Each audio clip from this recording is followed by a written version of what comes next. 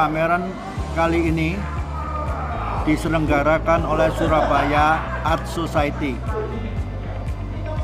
yang mana di dalam selama COVID-19 ini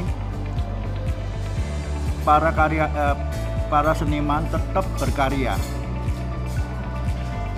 Dan pameran ini kita berusaha untuk bisa membantu para korban COVID-19 yang mana hasil penjualan 50% akan kita sumbangkan kepada para korban dengan melalui Yayasan ID3 yaitu Yayasan Indonesia China Cross Culture. Selama COVID-19 ini kurang lebih lima bulan saya menyelesaikan buku uh, saya berkarya selama 50 tahun.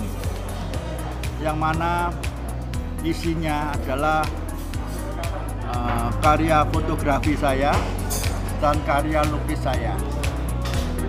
Sebanyak 256 halaman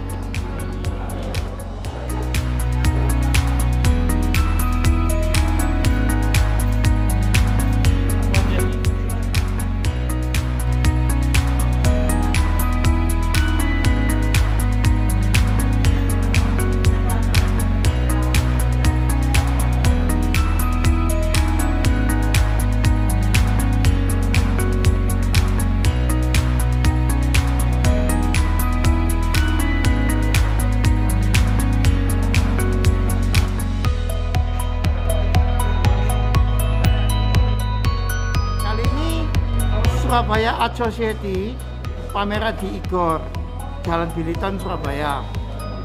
Karya seniman-seniman Surabaya meliputi fotografi maupun lukis.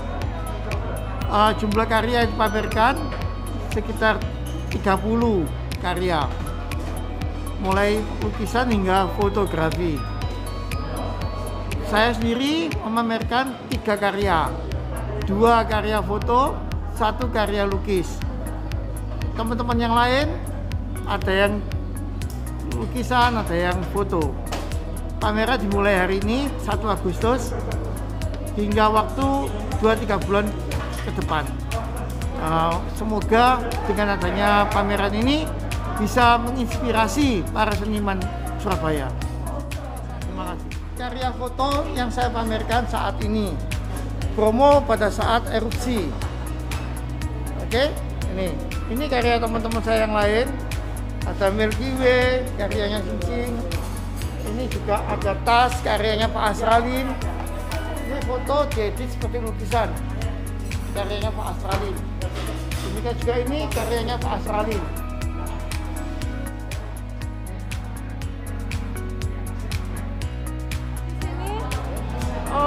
Saya ada tiga lukisan di sini, uh, satu watercolor, tiga oil painting.